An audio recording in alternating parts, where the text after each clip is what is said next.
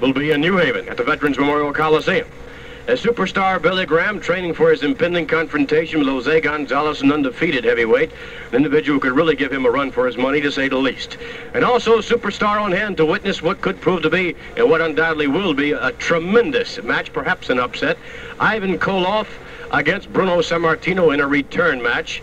And the guest referee is Haystacks Calhoun. That's it, baby. That's why the superstars there forget about Gonzalez, the little worm. Not even a question of a doubt. It'll be a 10-second match. That's how long it's going to take me to get rid of Gonzalez, because it'll take me 10 seconds to reach the man across the ring. Well, I'm there, baby. I'm there to witness the greatest spectacle in the history of wrestling. The final defeat of Bruno Sammartino by the Russian Bear, baby. Ivan Koloff will put the man down. The superstar's going to be there to see it, baby.